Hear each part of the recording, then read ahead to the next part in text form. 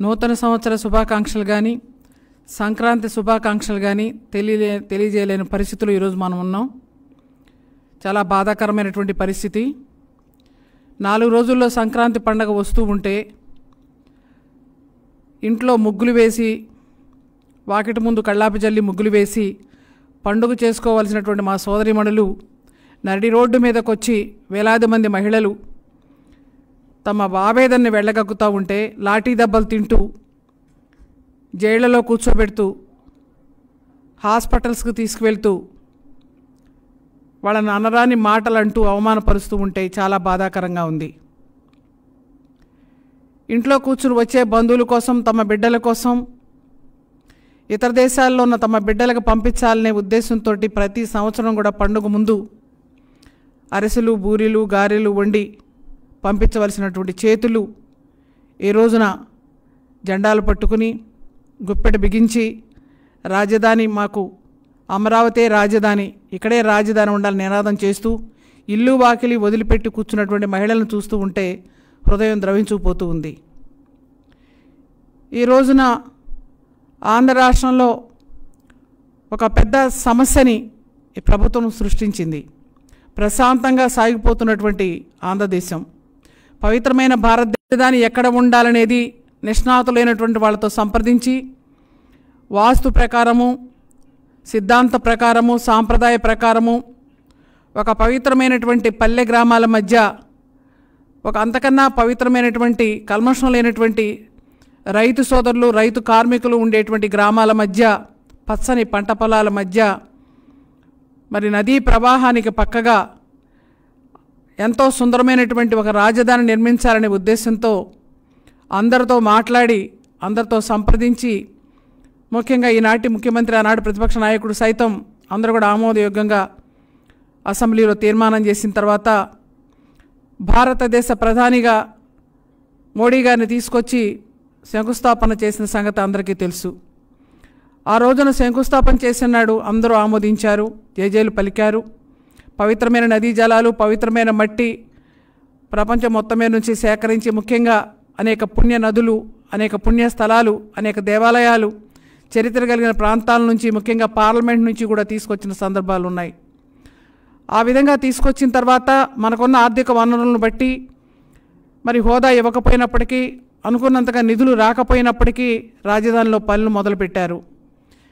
మొట్టమొదటిగా తాత్కాలికమైనటువంటి రాజధాని ఉండాలని సెక్రటరేట్ ఏర్పాటు చేసి తాత్కాలికమైనటువంటి సెక్రటరియట్ ఉండాలని అలాగే అసెంబ్లీ అసెంబ్లీ శాసనసభ అలాగే హైకోర్టు అనేకమైనటువంటి బిల్డింగ్స్ ఆ బిల్డింగులతో పాటుగా చుట్టుపక్కల జిల్లాల్లో కూడా విశాఖపట్నం దగ్గర నుంచి కర్నూలు దగ్గర నుంచి అనంతపురం దగ్గర నుంచి అనంతపురంలో కియా మోటార్స్ కియా మోటార్స్ కానీ అలాగే విశాఖపట్నంలో ఐటీ కంపెనీలు కానీ ఇలా చెప్పుకుంటూ పోతే అనేక జిల్లాలు అనేక కార్యక్రమాలు మొదలుపెట్టుకుని మనకి ఇక్కడ మంగళగిరి రోడ్లో పోలీసుల కోసం ఐ డిఐజీ బిల్డింగ్ కానీ డీజీపీ బిల్డింగ్ కానీ అలాగే ఆక్టోపస్ బిల్డింగ్ కానీ ఇంకా చెప్పుకుంటూ పోతే ఎన్జీ రంగ యూనివర్సిటీ కానీ ఇలా చాలా చాలా కోఆపరేటివ్ బిల్డింగ్స్ కానీ ఆఫీసులు కానీ అన్నీ కూడా అటు గుంటూరు ఇటు విజయవాడ వెలగపూడిలో వచ్చే విధంగా ఏర్పాటు చేయడం జరిగింది.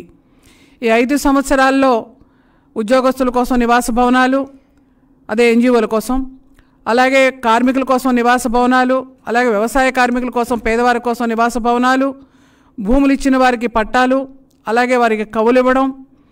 మరి ఒక రెండు పంటలు పండేదానికి ముప్పై ఐదు వేల రూపాయలు మూడు నాలుగు పంటలు పండేటువంటి పొలాలకు యాభై ఐదు వేల చొప్పున. అలాగే పేదవాళ్ళకు మాకు మరి మా పరిస్థితి ఏంటి?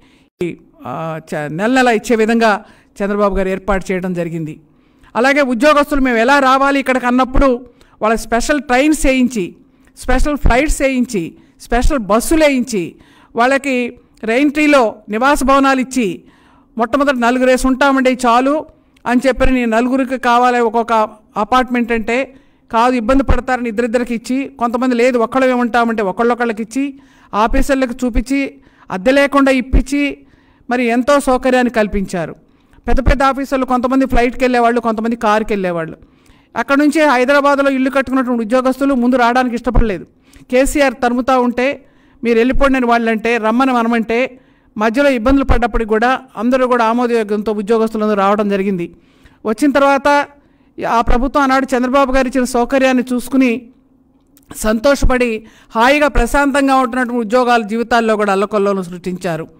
అంతేకాకుండా ఇక్కడ అనేక భవనాలు ఎమ్మెల్సీ క్వార్టర్స్ ఎంపీ క్వార్టర్స్ తర్వాత లాయర్స్కి అట్లాగే న్యాయమూర్తులకి క్వార్టర్స్ మరి ఐఏఎస్లకు ఐపీఎస్ల క్వార్టర్స్ ఎమ్మెల్సీల క్వార్టర్స్ ఇలాగా అనేక భవనాలు నిర్మిస్తూ ఉన్నాయి ఆకాశాన్ని అడుతూ ఉన్నాయి ఈలోగా చంద్రబాబు గారిని చూసి హైదరాబాద్లో ఏ విధంగానైతే హైటెక్ సిటీ దగ్గర నుంచి అన్నీ డెవలప్ చేశారో అదేవిధంగా ఏదైతే హైదరాబాద్లో ప్లాన్ చేశారో అలాంటి సిటీ కన్నా అక్కడ ఇంకా గొప్పగా ఉండాలనే ఉద్దేశంతో Singapore Malaysia German Japan China దగ్గర నుండి అనేక దేశస్తులను ఆకర్షించి వాళ్ళందరూ వచ్చి ఇక్కడంతా పరిశ్రమలు పెట్టేదానికి ముందుకు వచ్చారు కార్లు కంపెనీలు పెట్టేదానికి ముందుకు వచ్చారు ఐటీ కంపెనీలు పెట్టేదానికి ముందుకు వచ్చారు అనేక పరిశ్రమల్లో అనేక మందికి స్థానికంగా ఉద్యోగాలు వస్తాయని అనేక యూనివర్సిటీలు కూడా వచ్చే విధంగా ఏర్పాటు చేశారు. విమానాశ్రయాలు పెద్ద ఎత్తున ఇక్కడ గన్నవరం ఎయిర్పోర్ట్లో కూడా భూములన్నీ కూడా గన్నవరం ప్రాంతంలో కూడా మరి వంద వందల ఎకరాలు తీసుకోవడం జరిగింది. వేల ఎకరాలు తీసుకోవడం జరిగింది. ఇంటర్నేషనల్ ఎయిర్పోర్ట్ కోసం అనుమతి కూడా లభించింది. దాన్ని ఉపరాష్ట్రపతి వెంకయ్యనాయుడు గారు ప్రారంభోత్సవం చేయడం అది ఫౌండేషన్ వేయడం జరిగింది. పనులన్నీ చకచకా సాగిపోతూ ఉన్నాయి.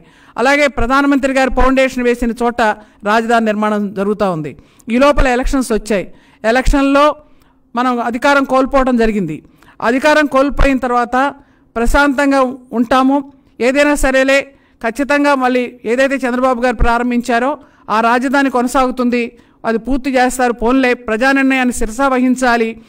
కాబట్టి ప్రజల నిర్ణయమే మన శిరోరాజ్యం అని చెప్పిన శిరోరాజ్యం అని చెప్పిన మనం మౌనంగా ఉన్నాం. అయితే ఒకటి ఆలోచించాల్సి ఆలోచించాలి ఇక్కడ. ఈ రోజున గవర్నమెంట్ మారిన తర్వాత రాజధానులు మారతాయని కల్లో కూడా ఊహించలేదు. ఎందుకనంటే ప్రభుత్వాలు మారవచ్చు. ప- ప్రభుత్వాలు మారినప్పుడు జెండాలు ఏ జెండాలు మారవచ్చు. రంగులు హంగులు మార్చుకోవచ్చు. అలాగే పేర్లు కార్లు మార్చుకోవచ్చు. కానీ రాజధాని మార్చటం అనేది ఎక్కడా జరగలేదు. అలా జరుగుతుందని ఎవరు కూడా ఊహించలేదు. మరి ఎందుకు ఆలోచన చేశారో వాళ్ళకి ఏమైందో తెలియదు కానీ రాజధాని మార్చాలనే ఉద్దేశం వచ్చినప్పుడు ఒక్కసారి అందరూ కూడా ఉలిక్కిపడ్డారు. ఒక్కసారి అందరిలో కూడా ఆక్రోశం ఆవేదన వెల్లువెత్తింది. ఇది కేవలం ఇరవై ఐదు ఇరవై తొమ్మిది ఊళ్ళ గ్రామస్తుల సమస్య కానే కాదు. ఇరవై తొమ్మిది ఊళ్ళ రైతులు భూములు ఇచ్చారు. స్వచ్ఛందంగా ఇచ్చారు. చంద్రబాబు గారు అడగగానే ఇచ్చారు. అది కూడా అపోజిషన్ లీడర్ ఆ రోజున చెప్పబట్టి ఈనాడు ముఖ్యమంత్రి గారు మాకు ఆమోదమేనని చెప్పబట్టి ధైర్యంగా ఇచ్చారు.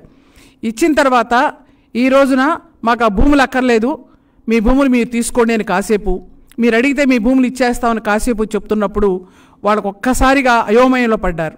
అయోమయం కాదు కళ్ళు బయర్లకమ్మాయి ఎందుకో తెలుసునా అక్కడ పెద్ద పెద్ద గోతులు తవ్వారు పునాదులు తవ్వారు పెద్ద పెద్ద హైవేలు వేశారు రోడ్లు వేశారు మెటీరియల్ ఉంది అక్కడ. ఇనప సా ఇనప ఇనుము తీసుకొచ్చి అక్కడ బ- లారీలు లారీలు దించారు. అలాగే మొక్క అంటే చిప్స్ తీసుకొచ్చి లారీలు లారీలు దిగుంది. కొండల్లాగా ఇసుక బుసక మరి మట్టి అంతా కూడా తొవ్వుంది. అలాగే ఐదు సంవత్సరాల్లో మిగిలిన పొలాలన్నీ కూడా పెద్ద పెద్ద ముళ్ళ చెట్లు పెద్ద పెద్దగా పెరుగున్నాయి. అటువంటి భూమిని మరి కొండలు లాగా పెరిగిపోయినటువంటి మెటీరియల్తో కట్టడాలు కొన్ని కట్టేసిన తర్వాత భూమి అంతా కూడా చదును చేసిన తర్వాత రాయిలాగా అయిపోయిన తర్వాత దున్నటానికి పనికిరానటువంటి భూమి అదేవిధంగా గోతులతోవి పునాదులతోవి రోడ్లు వేసినటువంటి భూమిని మీరు తీసుకోమంటే ఆ రోడ్డు మీద పంట పండిస్తారా? ఆ గోతులను వాళ్ళు పూడ్చుకుంటారా? ఆ మెటీరియల్ వాళ్ళు ఎక్కడ తీసుకెళ్ళి తోలుతారు? ఆలోచన కూడా లేకుండా దయాదాక్షిణం లేకుండా ఆ రైతుల గుండెల్లో పెను తుఫాను సృష్టించింది ఈ ప్రభుత్వం. అయితే ఒకటి ఆలోచించాలి. ఉద్యోగస్తులు ఎవరైతే ఉన్నారో ఇప్పుడు ఆ రోజున వచ్చిన ఉద్యోగస్తులు ఐదు రోజులే పని దినాలు కావాలన్నారు. అప్పటి వరకు కూడా ఆరు రోజులు పని దినాలు ఉన్నాయి. దానికి చంద్రబాబు గారు ముఖ్యమంత్రిగా ఆమోదించారు. ఐదు రోజులు పని దినాల నుంచి ఇచ్చి వాళ్ళకు సౌకర్యం కల్పించారు. శుక్రవారం మధ్యాహ్నం వెళ్తారు హైదరాబాద్కు. సోమవారం మధ్యాహ్నం వస్తారు. హాయిగా ఉద్యోగం చేసుకుంటున్నారు. రేపు విశాఖపట్నం మీరు ఎన్ని గంటలు ప్రయాణం చేస్తారు? హైదరాబాద్ వెళ్ళాలంటే మంచి కాస్ట్లీ కార్లు వెళ్ళాలంటే అధికారులు మూడున్నర గంటల్లో వెళ్తారు. లేదు ఒక మాదిరి కారు అయితే నాలుగు గంటల్లో వెళ్తారు. బస్సు అయితే ఐదు గంటల లోపు వెళ్తారు. ట్రైన్ అయితే ఐదు గంటలన్నర ఐదు గంటలు ఆరు గంటల లోపల వెళ్తారు. ప్యాసింజర్ అయినా ఆరు గంటలకు వెళ్ళిపోద్ది. ఎక్స్ప్రెస్ అయితే నాలుగు గంటలకు వెళ్ళిపోద్ది ఆకుండా వచ్చేది అయితే కాబట్టి ఆ విధంగా అన్ని సౌకర్యాలు ఉన్నాయి హైదరాబాద్ వెళ్ళటానికి. కానీ విశాఖపట్నం వెళ్ళటానికి కర్నూలు వాళ్ళు విశాఖపట్నం వెళ్ళాలంటే ఎంత దూరం? అలాగే తెలంగాణ వారు విశాఖపట్నం వెళ్ళాలంటే ఎంత దూరం? సారీ మన కోస్తా జిల్లాల నుంచి విశాఖపట్నం మన జిల్లాల నుంచి విశాఖపట్నం వెళ్ళాలంటే ఎంత దూరం? మన ఆంధ్ర- మన జిల్లాల నుంచి కృష్ణా గుంటూరు నెల్లూరు ప్రకాశం ఈ జిల్లాలన్నీ కూడా ఎలా? కాబట్టి ఇవన్నీ కూడా ఆలోచించాలి కదా. ఇవన్నీ ఆలోచించకుండా విశాఖపట్నం వాళ్ళు అడగకుండా కర్నూలు వాళ్ళు అడగకుండా మేము ఇక్కడ రాజధానులు నిర్మాణం చేస్తాం రెండు కాదు మూడు నిర్మాణం చేస్తామంటే పదమూడు నిర్మాణం చేస్తానన్నా మీ ఇష్టం అయితే చేసుకోండి. కానీ అది సాధ్యమా? అసాధ్యమా? అది బాగుంటుందా? అది ఎగతాళి అనిపించటం లేదా? చూసే వాళ్ళకి నవ్వులు పాలు కాదా? అసలు ఈ రాజధానులు ఏంటి? ఎవరితో పోల్చుకోవాలి మనం? ఎందుకని ఇప్పుడు ఇక్కడ పెట్టడానికి అభ్యంతరం ఏముంది? రెడీగా మీకు భూములు ఉన్నాయి పనులు ప్రారంభమై ఉన్నాయి పూర్తి చేయాలి కదా? ఇప్పుడు ఆ రోజుల్లో టంగుటూరి ప్రకాశం గారు ముఖ్యమంత్రిగా చేశారు. సంజయ్ గారు ముఖ్యమంత్రిగా చేశారు. సంజయ్ రెడ్డి గారు బ్రహ్మానంద రెడ్డి గారు విజయభాస్కర్ రెడ్డి గారు జనార్దన్ రెడ్డి గారు అలాగా మరి చెన్నారెడ్డి గారు. రెండుసార్లు చెన్నారెడ్డి గారు ముఖ్యమంత్రిగా చేశారు. తర్వాత విజయభాస్కర్ రెడ్డి గారు రెండుసార్లు ముఖ్యమంత్రిగా చేశారు. తర్వాత ఎన్టీ రామారావు గారు రెండుసార్లు ముఖ్యమంత్రి చేశారు. చంద్రబాబు నాయుడు గారు మూడుసార్లు ముఖ్యమంత్రి చేశారు. వైఎస్ రాజశేఖర రెడ్డి గారు రెండుసార్లుగా ముఖ్యమంత్రిగా ప్రమాణ స్వీకారం చేశారు. వాళ్ళు పెట్ తలపెట్టినటువంటి కార్యక్రమాలు ఎవరూ కూడా ఆపలేదు. హైదరాబాద్ పట్టణంలో కానీ లేకపోతే ఆంధ్రప్రదేశ్లో ఉమ్మడి రాష్ట్రంలో ఎక్కడా కూడా ఒక ముఖ్యమంత్రి ప్రారంభించిన కార్యక్రమాన్ని ఇంకో ముఖ్యమంత్రి వచ్చినప్పుడు ప్రభుత్వాలు మారినప్పుడు ఎక్కడా కూడా వాళ్ళ పథకాలను మార్చడం కానీ లేక పనులు ఆపివేయటం కానీ వాటికి స్వస్తి పలకడం కానీ కక్ష సాధింపు ధోరణి కానీ లేదు ఆ రోజున. నేనున్నాను చాలామంది ముఖ్యమంత్రుల దగ్గర పనిచేశాను నేను కూడా. ఎన్టీ రామారావు గారు చంద్రబాబు నాయుడు గారు అలాగే జనార్దన్ రెడ్డి గారు చెన్నారెడ్డి గారు విజయభాస్కర్ రెడ్డి గారు అక్కడ నేను ఆ ప్రభుత్వంలో ఈ ప్రభుత్వంలో కూడా చీఫ్ విప్గా చేస్తున్నాను. ఎప్పుడు కూడా ఏ పని కూడా ఆపలేదు. అక్కడ దాకా ఎందుకు? ఎన్టీ రామారావు గారు ప్రారంభించిన కార్యక్రమాలని కాంగ్రెస్ ప్రభుత్వం వచ్చింది. ఆ రోజు ఎయిటీ నైన్ నైంటీ ఫోర్ వరకు మేము ఉన్నాము. ఆ రోజు ఎక్కడ కూడా మార్చలేదే. ఆ కార్యక్రమాలు పూర్తి చేశామే. శిల్పారామాలు కానీ అటువంటివి కానీ అట్టాగే మరి తర్వాత మళ్ళీ చంద్రబాబు నాయుడు గారు వచ్చారు. చంద్రబాబు నాయుడు గారు తలపెట్టారు. ఔటర్ రింగ్ రోడ్ దగ్గర నుంచి శంషాబాద్ ఎయిర్పోర్ట్ దగ్గర నుంచి ఐటీ కంపెనీలు. రాజశేఖర రెడ్డి గారు ఆపలేదే. అవన్నీ కూడా ఉంచారే. కోల్చలేదే. అదేవిధంగా చంద్రబాబు నాయుడు గారు ఏదైతే ఆలోచన చేశారో అవన్నీ రాజశేఖర రెడ్డి గారు అమలుపరిచారు. రాజశేఖర రెడ్డి గారు అమలుపరిచినటువంటి వాటిని చంద్రబాబు నాయుడు గారు అమలుపరిచారు ఆలోచనల్ని. ఇట ఒకళ్ళకొకళ్ళు ఎవరైనా ముఖ్యమంత్రిగా ఉన్నప్పుడు ప్రభుత్వం ప్రజలు అధికారం ఇచ్చినప్పుడు శిరస వహిస్తారు. వారి కార్యక్రమాలు ప్రజలు మద్దతు ఇస్తారు. అధికారులు సహకరించాలి. కేంద్రం సహకరించాలి. కేంద్రంలో ఏ ప్రభుత్వంలో ఎవరైనా సరే రాష్ట్రానికి ఖచ్చితంగా సహకరించాలి. అటువంటి పరిస్థితుల్లో ఒక ముఖ్యమంత్రికి ఒక ముఖ్యమంత్రి కూడా ఏదైనా రాజకీయంగా పడకపోవచ్చు ఓడిపోవచ్చు గెలవచ్చు. అధికారం ఎవరికి శాశ్వతం కాదు. పదవులు ఎవరికి శాశ్వతం కాదు. పదవులు శాశ్వతం కాదు పలుకుబడి శాశ్వతం. అధికారం శాశ్వతం కాదు ఆదరణ శాశ్వతం. ఆ ఆదరణ పలుకుబడి పుష్కలంగా ఉండాలి ఏ ముఖ్యమంత్రికైనా. కానీ అలా కాకుండా ప్రజావేదిక కూల్చివేసినాడు మౌనంగా ఉండిపోయారు కదా. పోలవరం ప్రాజెక్టు ఆపేస్తే మౌనంగా ఉండిపోయారు కదా. చంద్రబాబు గారు తలపెట్టిన అనేక మంది పెన్షన్లను ఆపేస్తే మౌనంగా ఉండిపోయారు కదా. చంద్రబాబు గారు ఇచ్చినటువంటి రేషన్ కార్డులు ఆపేస్తుంటే మౌనంగా ఉండిపోయారు కదా. చంద్రబాబు గారు ఇచ్చిన బిల్లులు ఆపేస్తుంటే మౌనంగా ఉండిపోయారు కదా అని చెప్పి అనుకుని ఇది కూడా మౌనంగానే భరిస్తారు అనుకున్నారు చంద్రబాబు గారు ఇల్లు ముంచేస్తున్నా లేకపోతే ఎన్ని ఇబ్బందులు పెట్టినా ఏ చేసినా మౌనంగా ఉన్నారు మౌనంగా ఉన్నారు ఇంకా మౌనంగా ఉంటారులే అనుకునే చేస్తున్నారా? ఇది మౌనంగా ఉండటానికి చంద్రబాబు గారి సమస్య కాదు. రాజధాని వస్తుంది ఇతర దేశస్తులను ఆకర్షించవచ్చు ఎన్నో పరిశ్రమలు వస్తాయి పదమూడు జిల్లాలకు కూడా మరి అనేక మందికి వ్యాపారం చేసుకోవడానికి ఉపయోగపడుతుంది బిడ్డలు చదువుకోవడానికి ఉపయోగపడుతుంది ఇతర దేశాలకు వెళ్ళకుండా ఇక్కడే వైద్యం చేసుకోవడానికి ఉపయోగపడుతుంది ఇక్కడ విశ్వవిద్యాలయాలు నిర్మించవచ్చు ఆరోగ్య కేంద్రాలు ఏర్పాటు చేయవచ్చు అలాగే పరిశ్రమలు ఏర్పాటు చేయవచ్చు ప్రగతిని సాధించవచ్చు ఆదాయాన్ని పెంచుకోవచ్చు. ఖర్చు పెట్టకుండా బయట నుంచే మనం ఎప్పుడైతే ఒక స్థిరమైనటువంటి పరిపాలన ఉంటుందో ఒక స్థిరమైనటువంటి ఆలోచన ఉంటుందో ఒక స్థిరమైనటువంటి కట్టడాలు ఉంటాయో దాన్ని దృష్టిలో పెట్టుకుని ప్రతి ఒక్కళ్ళు కూడా మనకు కావలసినటువంటి మరి ధన సహాయాన్ని వాళ్ళే వచ్చి పెట్టుబడి పెడతారు వాళ్ళే నిర్మాణం చేస్తారు మనం భూమి ఇస్తాం. అదే కదా జరిగేది. ఆలోచనే కదా చంద్రబాబు గారు చేసింది. సలహా తీసుకోండి చంద్రబాబు గారిది. పోనీ చంద్రబాబు గారి సలహా మీకు వద్దండి. మీరు వేరే పెట్టుకోండి ఎవరన్నా సలహాదారులు పెట్టుకోండి మంచివాళ్ళను. ఇలాగ చెడగొట్టే వాళ్ళని పెట్టుకోవద్దండి. ఈ విధంగా రాష్ట్ర రాజధాని అవమానపరచొద్దండి. తెలుగు వాళ్ళని అవమానపరచొద్దండి. ఇంకా పైగా బూతులు మాట్లాడడం అసభ్యకరంగా మాట్లాడడం ఎంతవరకు సమంజసం? ఒకనాటి ముఖ్యమంత్రి అండి ఆయన ఈనాడు ప్రతిపక్ష హోదా ఉన్నటువంటి చంద్రబాబు నాయుడు గారి గురించి ఇష్టం వచ్చినట్టు మాట్లాడొద్దండి. మీకు నచ్చకపోతే వదిలేయండి. అంతేగాని మా ఇలా చేయటం ఏంటి? ఇవాళ చంద్రబాబు గారు బయట అడుగుతున్నాను నన్ను వెడనివ్వండి అంటే ఆయన అడ్డం మీలాగా బూతులు నేను తిట్టలేను. రాజకీయాలు కూడా నేను మాట్లాడదలుచుకోలేదు. రాజకీయాలు మాట్లాడితే వీళ్ళు తెలుగుదేశం వాళ్ళు లేకపోతే పలానా కులం వాళ్ళు అంటాం. అది అది సరే.